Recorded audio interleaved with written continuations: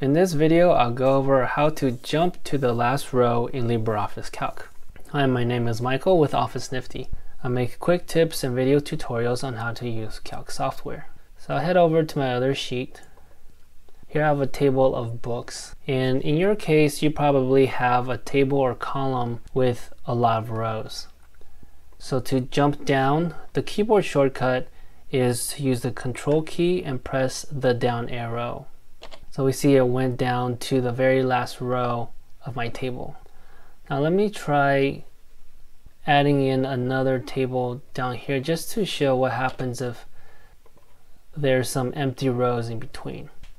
So if I try that again with the control down arrow, it goes to the end of the row.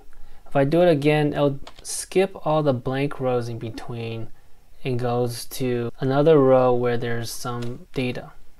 Then when I press control down arrow again, it goes to the end where I have a range of cells. So that's the one caveat is if you have empty rows in between for whatever reason, you might have to press control down arrow several times until you actually get to the end. This can occur if maybe you have some missing data in some cells in a row Whereas if you know there's another row with actual data, for example, this isn't correct, but just to demonstrate, here we have continuous data within a column and then press control down, then actually ends up with the last row.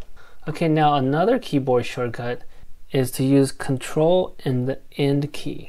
Depending on your keyboard, if you're using a laptop or a standard keyboard, your end key might occur on the number pad area or to the left of the number pad area. But you see here when I press control end, it actually goes to the last row and the last column in the sheet.